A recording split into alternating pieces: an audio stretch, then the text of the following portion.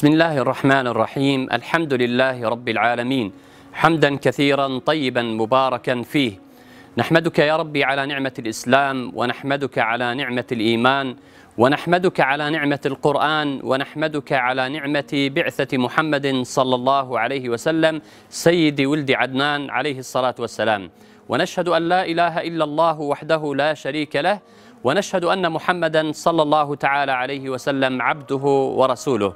وبعد السلام عليكم ورحمة الله وبركاته. هكذا كان هكذا كان رسول الله صلى الله عليه وسلم.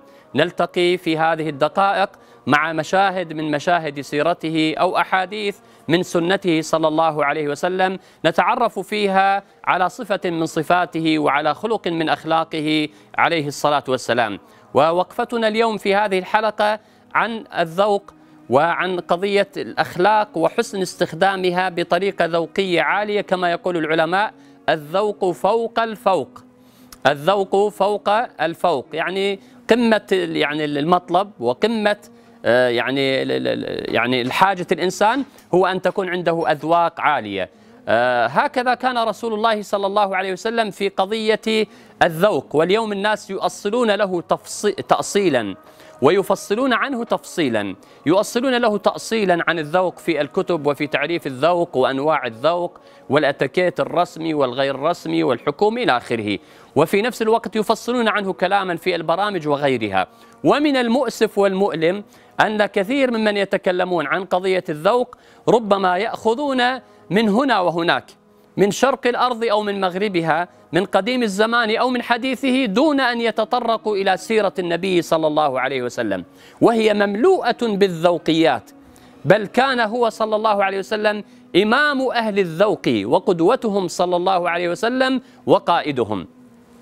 ومجال الذوقيات في سيرته وفي سنته صلى الله عليه وسلم كثيرة جدا. فلو أخذنا على سبيل المثال في قضية يعني المجلس والمجالسة والضيف والاستضافة وغيرها كان صلى الله عليه وسلم على درجة عالية من الذوق. من ضمنها في قضية الدخول إلى المجلس أو إلى البيت. فكان صلى الله عليه وسلم يستأذن. يستأذن وأمرنا بأن نستأذن ثلاثا. فقال الاستئذان ثلاثا. فإن أذن لك وإلا فارجع. اذا علمنا عدد مرات الاستئذان. علمنا مكان الاستئذان وهو أن نقف على يمين الباب أو شماله. علمنا صلى الله عليه وسلم طريقة الاستئذان كما في قول الله عز وجل لا تدخلوا بيوتا غير بيوتكم حتى تستأنسوا وتسلموا على أهلها. ثم يقول سبحانه وتعالى فإن قيل لكم ارجعوا فارجعوا هو أزكى لكم. هذه درجة عالية من الذوق كان يعمل بها النبي صلى الله عليه وسلم. حتى أنه استأذن على بعض الصحابة وقال السلام عليكم أأدخل؟ فلم يجب عليه أحد. ثم قال المرة الثانية السلام عليكم أأدخل؟ فلم يجب عليه أحد. ثم قال المرة الثالثة فأذن له هذا الصحابي الجليل. فلما سأله عن سر تأخره في الإذن قال أردت أن أستزيد من دعائك لي يا رسول الله فأنت تسلم وتقول السلام عليكم ورحمة الله وبركاته. فأراد أن يستزيد من ذلك رضي الله عنه من دعاء النبي صلى الله عليه وسلم وسلامه. أيضا من ذوقياته صلى الله عليه وسلم أنه يعني وجهنا أن نجلس حيث انتهى بنا المجلس. فلا نجلس بمكان أحد ولا نزاحم أحد ولا نجلس بين شخصين إلا بإذنهما. من ذوقياته صلى الله عليه وسلم حتى في المجلس أنه كان إذا كلم أحدا التفت إليه بوجهه. يعني التفت إليه بكليته.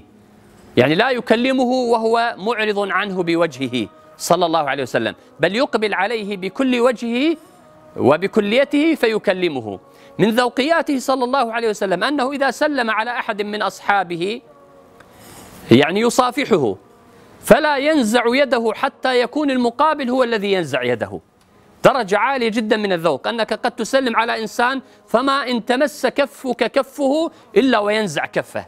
على سبيل السرعة. لكن محمد صلى الله عليه وسلم حين تسلم عليه فيجعل كفه في كفك لا ينزع كفه حتى تكون أنت النازع. إذا التقى صلى الله عليه وسلم في مجلس أو في مكان بإنسان فبدأ يكلمه صلى الله عليه وسلم فماذا يفعل؟ فإنه لا ينصرف عن هذا الإنسان حتى يكون هو الذي ينصرف. حتى يكون الإنسان هو الذي ينصرف. يعني أنت قد تلتقي بإنسان على سبيل السرعة تغادر المجلس أو تفارق المكان. محمد صلى الله عليه وسلم يبقى.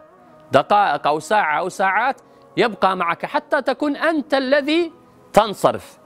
يقول الصحابة في الدرجة العالية من الذوق التي يتعامل بها صلى الله عليه وسلم مع أصحابه في المجلس الواحد يقولون رضي الله عنهم كان لا يرى جليسه أن أحدا أحب إليه منه درجة عالية جدا من الذوق. لا يصلها إنسان لا في هذا الزمان ولا في غيره من الأزمنة إلا محمد صلى الله عليه وسلم.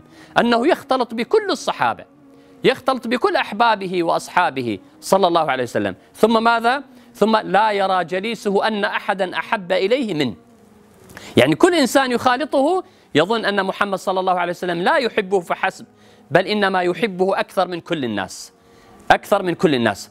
من ذوقياته أيها الأخوة الكرام صلى الله عليه وسلم هو اهتمامه يعني مع نفسه بقضية النظافة والاهتمام بمظهره بجوهره بمخبره صلى الله عليه وسلم بملبسه بما يضعه على رأسه بما يلبسه من عباءة أو برد أو يعني كسوة بما يلبسه من إزار صلى الله عليه وسلم بما يلبسه أجلكم الله من حذاء. كل ذلك كان يهتم به صلى الله عليه وسلم. يهتم بتنسيق الألوان يهتم عليه الصلاة والسلام بالنظافة يهتم صلى الله عليه وسلم بالعطر. لذلك حين يرى صورة مخالفة للذوق آه، الموجود عنده صلى الله عليه وسلم والذي يدعو أصحابه وأمته إليه مباشرة يستنكر هذه الصورة بطريقة مهذبة ومرتبة ومؤدبة فيصحح المسار عند المقابل. رأى رجلا مثلا ثائر الرأس فقال أما وجد هذا ما يغسل به رأسه؟ يعني يعقل أنه ليس عنده مال ليس عنده مال أليس عنده يعني آه، مد من الماء حفنة من الماء أو حفنتين يغسل رأسه؟ رأى إنسان مثلا ثيابه وسخة قال أما وجد هذا ما يغسل به, به ثيابه؟ دخل عليه رجل ثائر الرأس فأمره أن يغتسل وأن يتنظف ثم عاد. فماذا قال له؟ قال هذا خير من أن يدخل علي أحدكم ثائر الرأس كأنه شيطان. يعني توصيف عجيب. يعني رب العالمين وصف عن الزقوم قال في القرآن طلعها كأنه رؤوس الشياطين.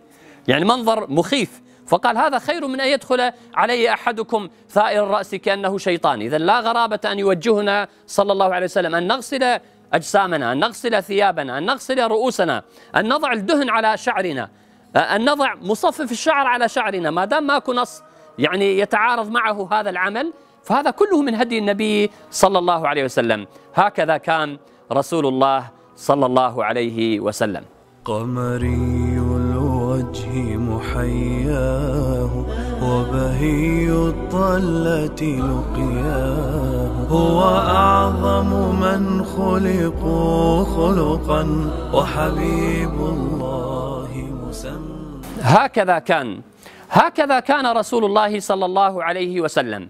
يدخل أصحابه إلى المدينة فقبل أن يصلوا إلى المدينة يقول لهم عليه الصلاة والسلام يعني يأمرهم يقول لهم أصلحوا يعني هيئاتكم وأصلحوا رحالكم يأمرهم بأن يتنظفوا في ثيابهم وفي أجسادهم وحتى في رحال دوابهم. ثم يقول لهم حتى تكونوا بين الناس كالشامة كالشام يعني كما أن الشامة تزين الوجه أو تزين الخد وتكون نقطة يعني واضحة ومميزة عن بقية الوجه أو عن بقية المكان يعني الموجودة فيه. كذلك أراد من الصحابة أن يتميزوا بجمال مظهرهم وجمال مخبرهم وجمال جوهرهم ونظافة أجسادهم ونظافة ثيابهم ونظافة وتميز حتى رحالهم. حتى رحالهم. يعني كأنها دعوة حتى لأصحاب السيارات.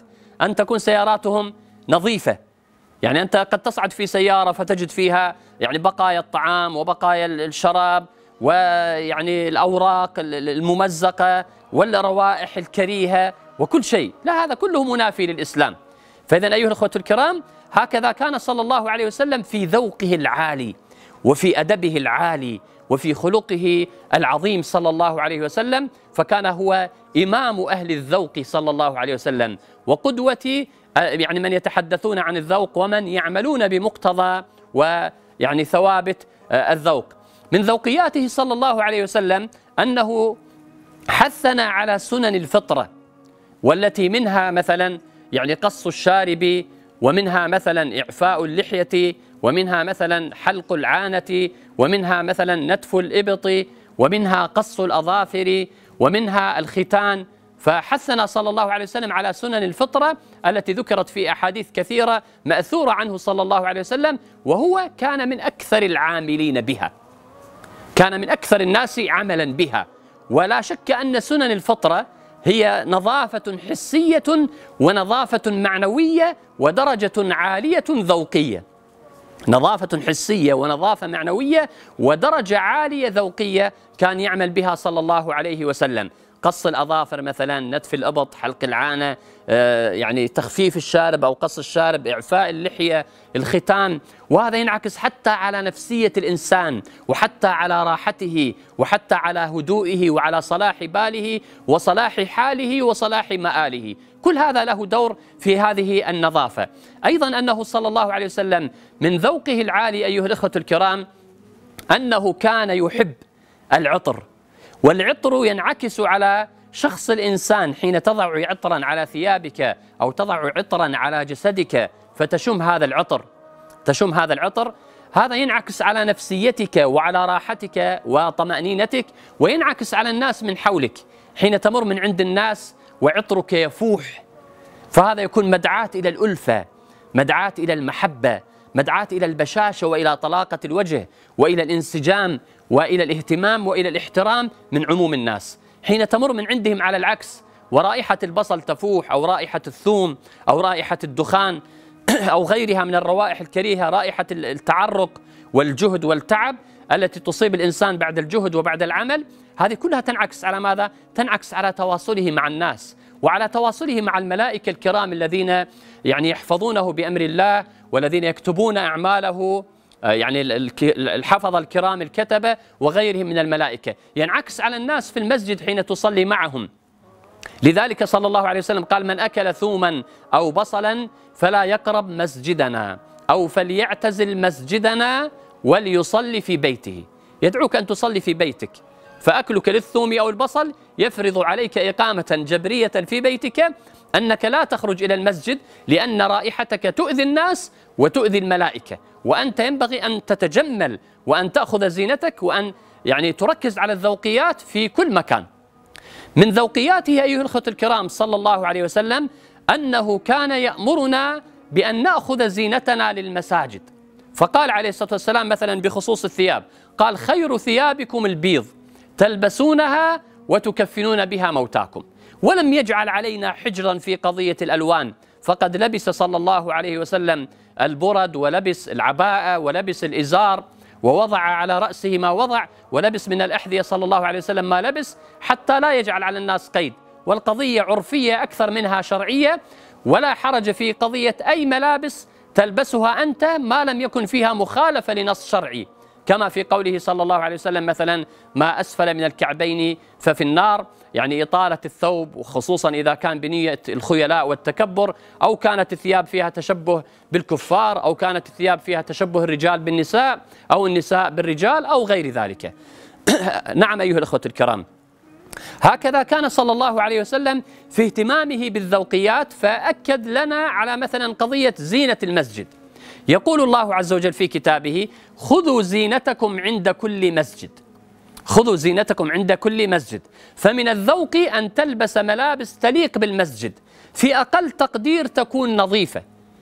وفي أعلى تقدير أن تكون مرتبة ومنسقة بقضية ألوانها وبعطرها وبنظافتها ويعني كونها غير يعني يعني كونها عفوا لائقة بالمسجد وبمقام العبودية لله والوقوف بين يدي الله. لا شك أنه خير الألوان الأبيض لكن حرج لا حرج عليك أن تلبس من أي لون من الألوان. لكن المهم ما يتناسب مع زينة المسجد. من ذوقياته صلى الله عليه وسلم أنه تنزل عليه من القرآن الكريم آيات تمدح بعض أصحابه وهم من يصلون في مسجد قباء. لماذا مدحهم الله عز وجل؟ وقال فيه رجال يحبون أن يطهروا والله يحب المطهرين. قال العلماء لماذا مدح الله عز وجل أهل هذا المسجد؟ قالوا كانوا إذا استنجوا يعني أجلكم إذا ذهبوا لقضاء الحاجة فأرادوا أن يذهبوا أو أن يزيلوا النجاسة عن القبل أو عن الدبر لا حياء في الدين كانوا يتبعون الحجارة بالماء. يعني لا يستجمرون بالحجارة فقط ولا يستنجون بالماء فقط بل يستجمرون بالحجارة ثم يتبعونها بالماء مبالغة في النظافة. ودرجة عالية من النظافة فمدحهم الله من فوق سبع سماوات وقال فيه رجال يحبون أن يطهروا والله يحب المطهرين. هكذا كان رسول الله صلى الله عليه وسلم في ذوقه فهو إمام أهل الذوق وهو من يعلمنا الذوق صلى الله عليه وسلم.